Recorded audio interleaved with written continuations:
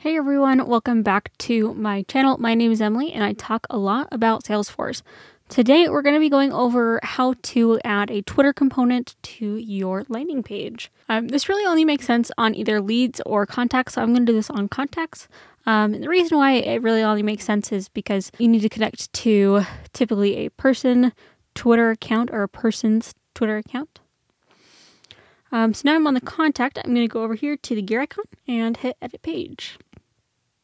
Okay, and then from here, we are going to go over to the components, and then Twitter should be one of these standard components or one of the last ones. You can go ahead and drag and drop that over. I'm going to have it be underneath the activity area. I don't know, that just kind of makes sense to me. And then you will need to sign in with Twitter and then I believe connect it with this person's Twitter account. So I'm going to hit save and activate. And then you're going to need to assign this record page. Now you can do some funky stuff with the org app and app record type profile default stuffs. Because this is a playground, I'm going to assign this as the org default. Of course, if you are looking to do this for your production org, please test this out so then it's not messing anyone up.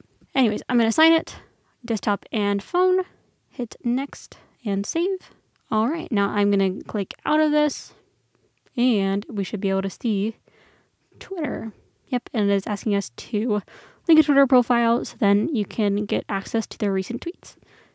But anywho, that is how you add a Twitter component to your Lightning page. Thank you so much for joining me today. I hope that you found this helpful. If you did, be sure to give it a like, subscribe. You can check out the courses down below in the description or on salesforceupskill.com. You can connect with me on LinkedIn and Twitter at Emily Call MBA. Thank you so much, and I'll catch you guys in the next one.